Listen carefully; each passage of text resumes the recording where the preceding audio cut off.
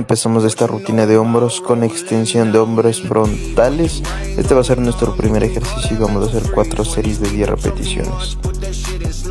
Como ven, los hombros tienen que estar rectos y vamos a alzarlos para adelante. Tienen que hacerlo lento para que puedan sentir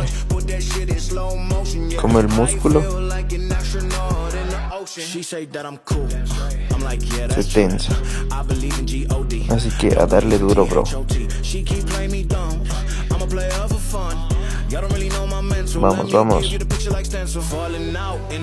Bueno, pasamos al segundo ejercicio. Son estas extensiones de hombros laterales. Igual cuatro series de 10 repeticiones.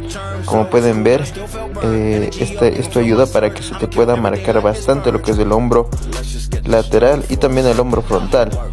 Pero más lo que es hombros laterales. Miren cómo trabaja el hombro.